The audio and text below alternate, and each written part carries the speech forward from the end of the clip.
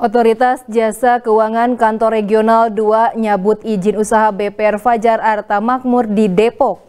Eta ketakte disorang lantaran rea kalemahan dina prak-prakan ngokolakeun BPR Fajar Arta Makmur. Pikeun nyinglar karandapan deuna BPR anu izina dicabut, OJK ngarojong BPR di Jawa Barat sangkan merger.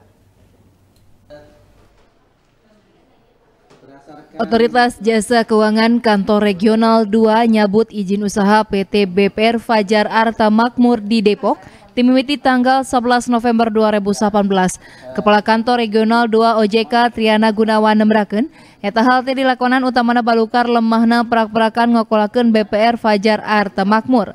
Dina bulan September 2018, ayah 170 hiji rekening tabungan kelawan nominal 158 juta, genep ratus 28 ribu di eta BPR. Ari depositona 13 rekening kalawan jumlah samiliar 245 juta 420 genep ribu. Pihak Naoge meredih masyarakat sangkan tetap tenang lantaran simpenan anak dijamin ku LPS. Hal-hal yang berkaitan dengan BPR ini Kenapa dicabut izin usahanya? Tentu sudah melalui berbagai proses pengawasan. Hal utama karena ada kelemahan dalam pengelolaan BPR ini, yaitu kurang memperhatikan prinsip kehati-hatian dan prinsip perbankan yang sehat. Sejroning itu Direktur Pengawasan LJK 1 KR2 OJK Asep Teddy ngebrehkeun, OJK miharap konsolidasi atau merger antar BPR anu permodalan lemah Dumasar karena data genep 22 tina genep 8 BPR anu dihandapun modal inti boga komitmen pikeun nyetorkeun kanu nyekel saham. Ari genep BPR sejena neangan investor. Eta BPR anu neangan investor teh bakal diondang ku OJK sangkan bisa merger. Ngaliwatan merger, permodalan BPR bakal leuwih weweg efisien turta leuwih kompetitif. Uh, dari 68 60 62 62 BPR ya.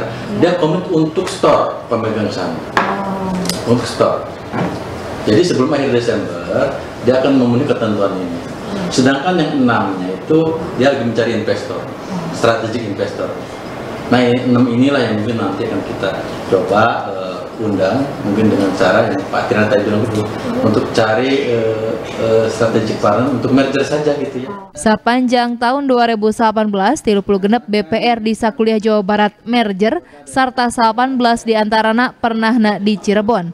Liantik itu OJK OG keur memejehna ngarojong 11 BPR anu sahamna di Piboga ku pamarentah Provinsi Jawa Barat pikeun merger.